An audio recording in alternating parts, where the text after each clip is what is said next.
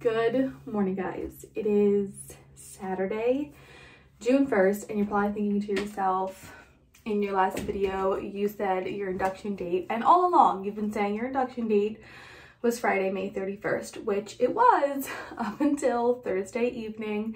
My doctor called me and told me that there were just a bunch of like medically necessary inductions and things that had to be scheduled for Friday that he thought if I showed up yesterday, I would have continuously been sent home. And if I did get a bed, it would have been later in the evening. but today is actually his son's graduation. And so he is not the doctor on call for the majority of the day today. So if I went in like later on in the evening yesterday and delivered this morning or at any point this afternoon, he most likely would not have been the one to deliver me. It would have been just any other hospital staff on call, which is not what I wanted. I really want my OB to be the one to deliver me. I had such a positive experience with the boys and I feel like your own personal OB just knows your history, your pregnancy, um, just like what you prefer in a labor and delivery process. And so he said if I really wanted him to be the one to deliver baby girl, I would have to wait until Saturday and I would have to go in most likely Saturday evening and deliver her sometime Sunday morning or any time during the day Sunday. He is the doctor on call in the hospital. So um, we did have to push my induction one day, which honestly, once I picked my up from the airport on Thursday, I really did not care when my induction was just because I wanted her to be here. So having her here and having plans change, um, I felt very comfortable and okay with that. So yesterday we just had a pretty chill day. We actually did a lot of errands and things that I'm really glad we were able to get done yesterday. It was nice to be able to do that with my mom and then also for my mom to have like a day to relax. She worked like seven plus days in a row leading up to her trip here and then traveled on Thursday and I'm just glad she was able to have some downtime yesterday. So it actually really wound up working out all together. Of course, I really wanted a May baby and I will explain that more once I announce her name. But it is now June 1st, so I'm officially having a little June baby. Most likely we'll be having her on June 2nd. I don't think I'll go pretty fast tonight. Um, so most likely her birthday will be June 2nd. But for today, it's honestly like 9.30 in the morning. Um, it's still pretty early. I'm planning on heading to the hospital around 6 p.m. and I'm actually really happy about that as well. I labored through the night with the boys and when you're being induced, the beginning of your induction is pretty slow anyway, so it's kind of nice to get the beginning of an induction out of the way overnight when you aren't super uncomfortable and you can still rest. So I am kind of happy altogether with how things turned out, but um, my plan is to go to the hospital around 6 p.m. tonight. So I'm going to spend the day with the boys, finish packing my hospital bag, finish up doing just like any last minute chores and things around the house and then of course continue the vlog later on and bring you guys along for my induction but the boys just came in from playing outside with Harris so I'm gonna go downstairs and spend some time with them all right it is around one o'clock you can probably hear the bath running I am running the bath so that I can give the boys a bath and while they're in the bath I need to fold their laundry that I did yesterday so that's ready for this weekend while I'm gone so that they have outfits um, I need to finish packing my hospital bag. I have a few toiletries I need to pack. And then I want to pack my like electronics bag that will have chargers, my computer, tripod, um, blow dryer straightener. I have to fit all that in a separate bag. And then I do want to lay out their outfit that I want them to come to the hospital in and meet baby girl in so that Harris, my mom, whoever winds up getting them ready that day, they know what to put them in. So those are three things I'm going to try and get done while the boys are in the bath. And I am like very tired. I think I might try and take a nap before we go in later. I think the anticipation had me up all night last night. I slept in like 30 minute increments and I felt like I never fully fell into a deep sleep. And it's definitely hitting me now at this point that I'm getting tired. So I think maybe after I get all of this done, hopefully I can lay down for a nap. But I want to show you guys what baby girl is looking like.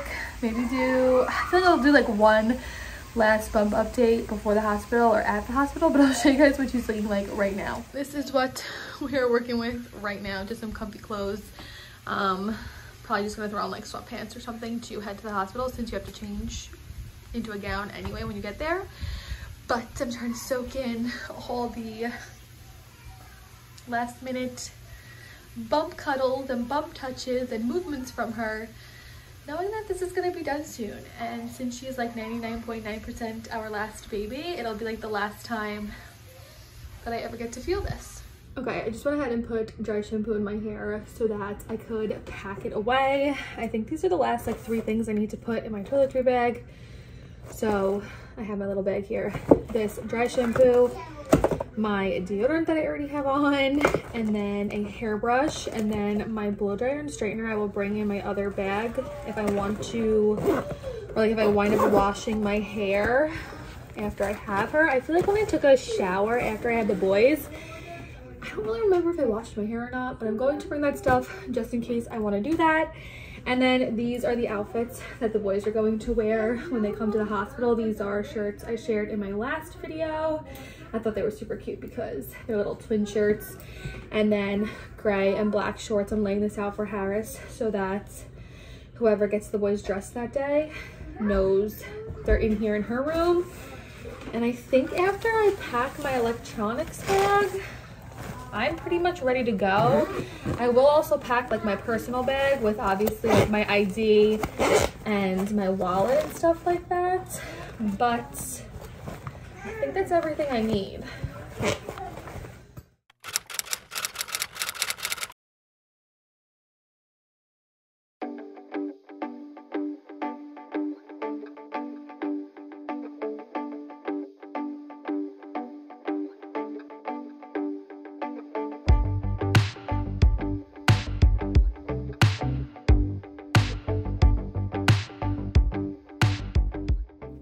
Guys it is now sunday morning. My induction got canceled yesterday but i just got the call that it is officially time to head in. I just took a shower this morning and quickly blew up my hair. My face is so red. I feel like i'm so frazzled now that it's actually time to head out and go. But i still need to pack my electronics bag quick and then my mom and i are to jump in the car and head to the hospital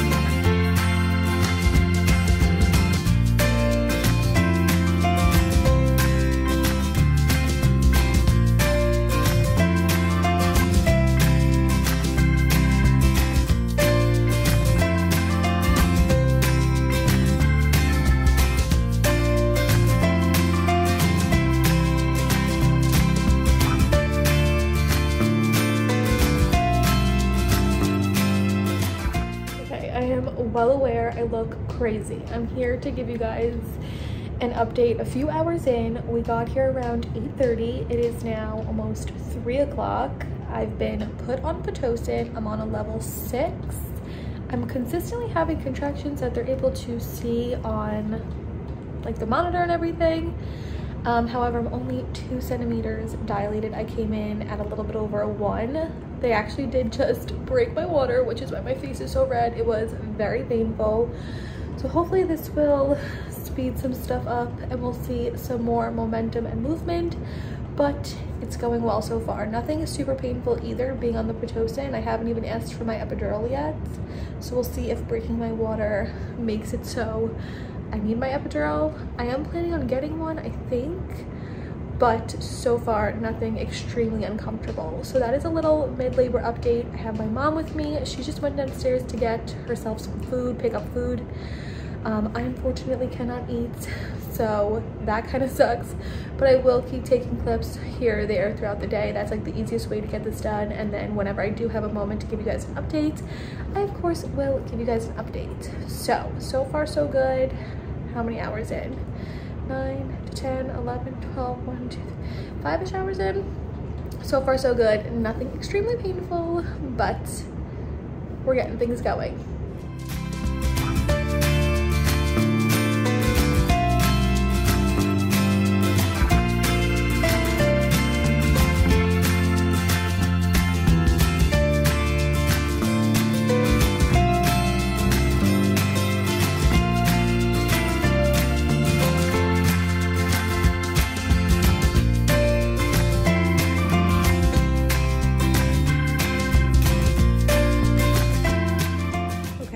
Lighting is not the best because the sun is going down. It is now, I think around 7.38. Um, my Pitocin has been upped to over a 10. I've had the epidural going. I actually had to click it two times because I started to even feel the contractions with the epidural or with, yeah, with the epidural, I started to feel painful contractions. So I do have a button that I'm able to click to administer more. So I had to do that twice. Um, they're doing shift change soon and my doctor should be clocking in and then at that point they will come in and check me and see if I am dilated or like what I'm dilated at. Um, the last time I think I told you guys it was around three o'clock and I was only a two, but I definitely think I've progressed more considering the contractions I'm feeling. Like if I can feel them with the epidural, they're for sure like an eight, nine or 10 without. Um, they're like a one or a two with the epidural. So once I get checked again, I'll have more of an idea of what's really going on. My mom is still here with me. And then once I get closer to pushing, Harris's parents will go to our house and then Harris will come here. So, so far smooth sailing, so far not too bad. I'm hoping to deliver at some point in the middle of the night, if not early morning. But like I said, I'll know more once I get checked again and I can get an idea of where I'm at. Like I'm hoping I'm at least like a six I think that would be good. And I would feel good about continuing through the night if I knew I was like at least a six right now.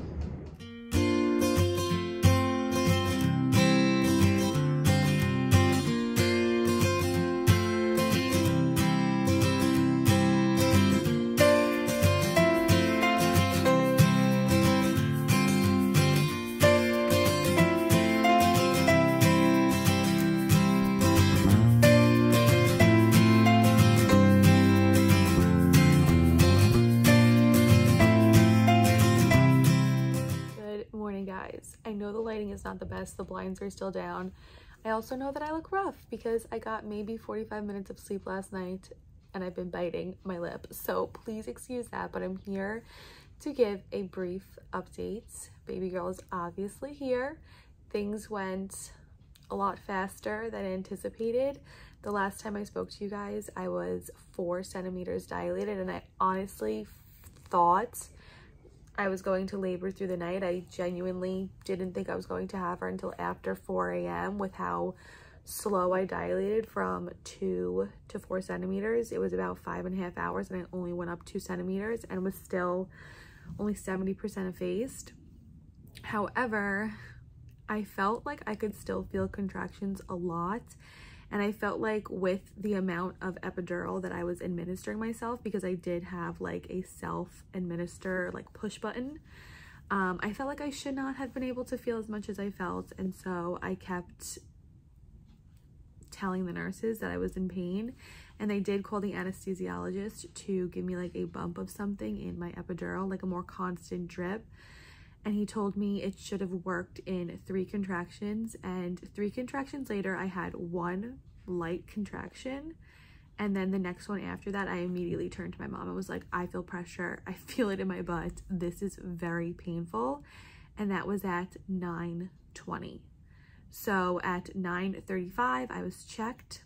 I was 9.5 centimeters, 100% effaced. She was a plus two position. Okay, the pediatrician wound up coming in and checking her and I was going to feed her, but now she fell asleep. So I need to try and wake her up and feed her. But um, yeah, it was a chaotic and quick ending to my labor. I'm obviously going to film a full sit down labor and delivery video where you guys will get like the full play by play of everything.